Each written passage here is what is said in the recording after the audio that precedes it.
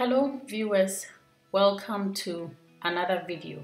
In this video, I am demonstrating my Austrian inspired apple strudel recipe and this is how it looks like. It is a puff pastry filled with cooked apples, very very delicious and really easy to make. So to start, you will need a food processor if you have one. I really love mine. It's like I use it for all my baking and it's just great.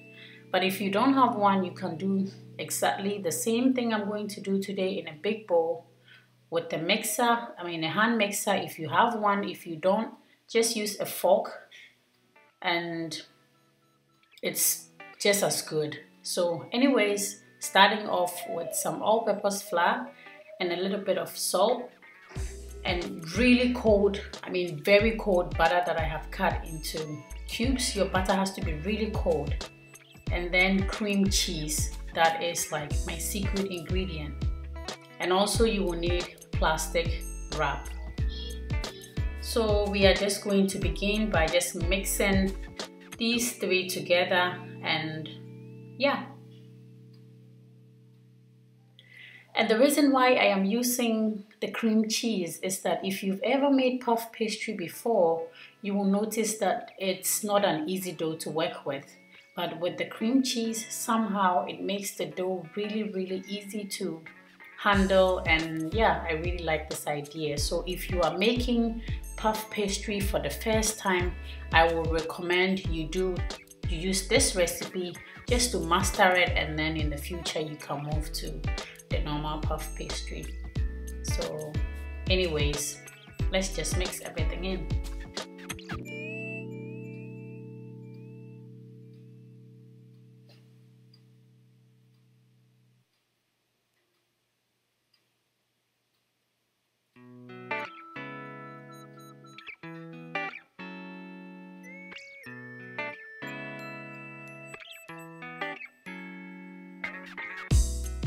And now what I'm going to do is just pulse it a few times until a ball of dough begins to form.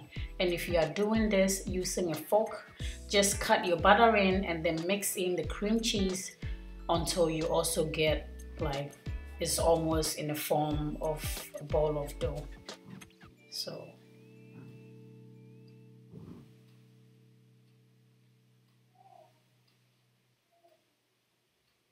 When it's done, just get your wrapping paper, I mean, sorry, your wrapping, your plastic wrap, cannot even talk, excuse me, and then just transfer the dough onto the wrap. And I normally do this if I want to make apple strudel tomorrow, for example, I will make my dough tonight or today and keep it in the fridge. And then the next day I just have it already and less work to do. You can also freeze this for a few months. So yeah, that's another option. So wrap this up very tight, roll it and form like a ball shape with it and put it in your fridge while we prepare the next step. So for the next, we are going to do our filling. And here I have three apples Granny Smith and one gala. I have brown sugar and some butter. The apple I have washed and peeled them and now I'm going to core and remove the seeds and cut them into bite sizes.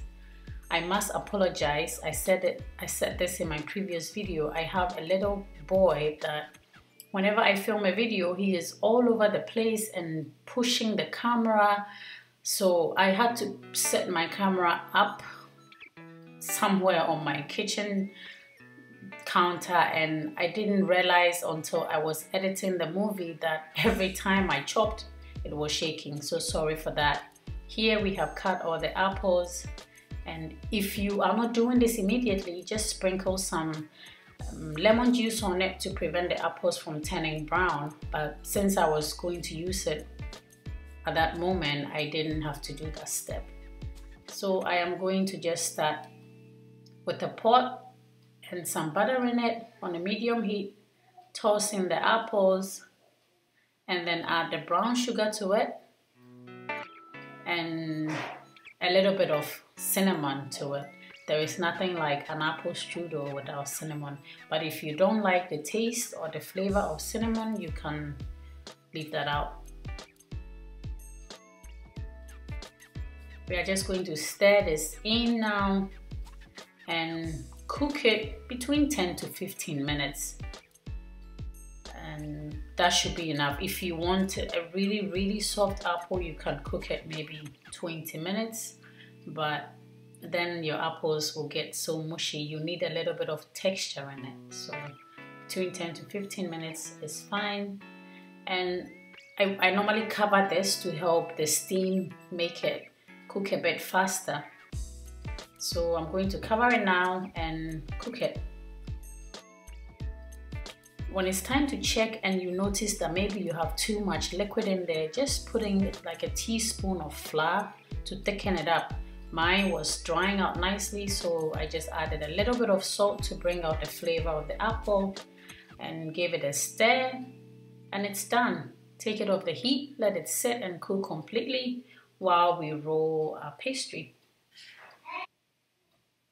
So now we are going to roll our dough. We just took it out of the fridge and yeah, you will need a rolling pin, some all-purpose flour to dust your surface, some butter at room temperature, one egg that I will use for the egg wash, and this is the apple that we just made. And you can double the, the recipe, I mean double the amount of apple if you want more filling in your pastry. So I'm just going to add water eggs to form the egg wash and just beat this until it gets foamy.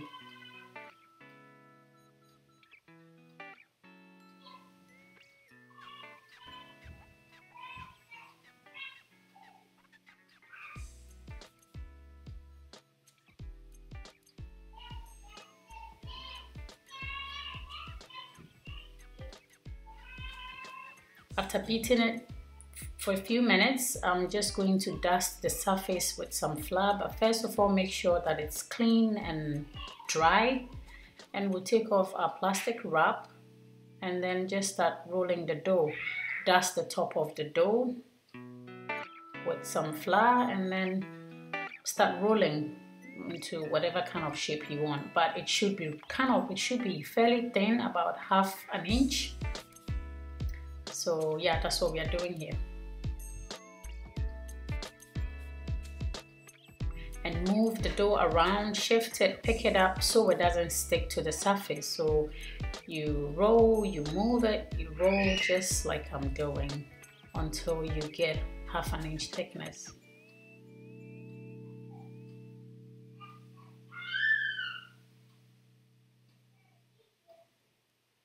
and you can see what I was talking about the the cheese makes the dough really easy to work with. Like your normal puff pastry dough it will be having cracks in it and you will have to put it in the fridge and then take it out again and then get it back in when it's getting too warm.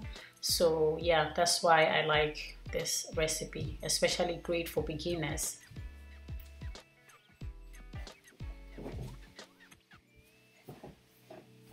Now that is all rolled up, I'm just going to trim the edges a little.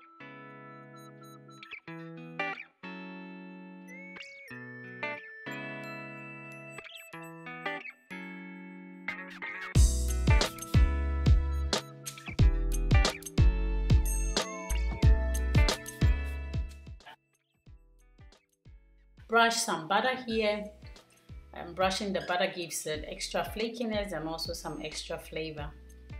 And we are going to put our apple filling on top of it and spread it on evenly.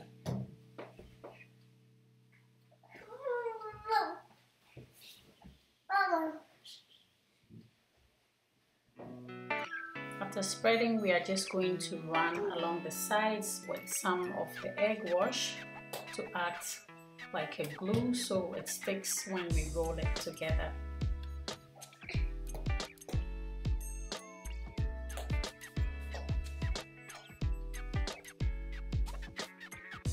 Now start rolling fold it on top, roll, and then when you get to the end there, just use a fork and press it down to seal it,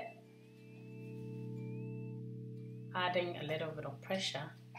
And then we will transfer this onto a baking sheet with, which is lined with parchment paper. Put some egg wash on the sides there, fold it in, or if you prefer, you can just use the fork again to press to seal, but I prefer folding it in. I'm sorry for the background noise. My son is just, when I'm filming, he's all over the place. Please forgive me. Now we are going to brush. Are going to brush the top with some more egg wash, and this will help. This will help the apple strudel to get a nice golden brown color. Use a sharp knife and cut some splits on top to help the steam to come out while it's baking in the oven so it doesn't bust open. And here I'm going to sprinkle the top with a little bit of brown sugar. You don't have to do this, but I like it. So yeah, we are done. We're going to put this in the oven and bake it between 30 to 40 minutes. And when it's golden brown you know it is done. Sprinkle a little bit of powdered sugar on top. Enjoy this with some warm milk an ice cream with coffee with tea. It is just an easy and a great dessert. Thank you so much for watching this video. And if you like it give it a thumbs up. And I will see you in the next one. Bye